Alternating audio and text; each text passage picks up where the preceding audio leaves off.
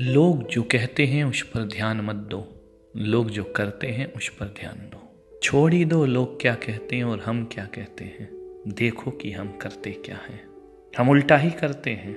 हम कहते कुछ हैं और करते कुछ हैं। इस संसार में दुख भी दुख है और सुख भी दुख है। इसलिए कहते हैं भगवान महावीर की आश्चर्य है। लोग अपने ही पैरों से कारागृह में चले आ रहे हैं। आश्चर्य है लोग अपने ही हाथों से अपनी जंजीरें अपने पर डाल रहे हैं। आश्चर्य है। लोग रोते भी हैं, चिल्लाते भी हैं कि मुक्ति होना है, हमें मुक्त होना है, हमें आनंदित होना है। पर जो करते हैं, वह बिल्कुल विपरीत होता है।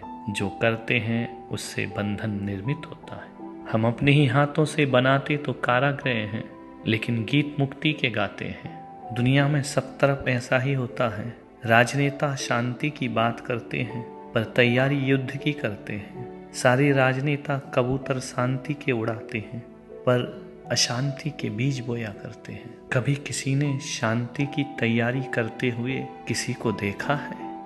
शांति की कोई तैयारी नहीं करते। शांति की केवल लोग बातें करते हैं, चर्चा करते हैं। तैयारी तो युद्ध की ही होती रहती है। बातें क्षमा की करते हैं, पर तैयार तो हमारा क्रोध हमेशा रहता है। बातें सत्य की करते हैं, पर झूठ की उधेड़ बन चलती रहती है। हम प्रशिक्षण धर्म कर लेते हैं, पर काम अधर्म के करते हैं। कैसे मिलेगी मुक्ति?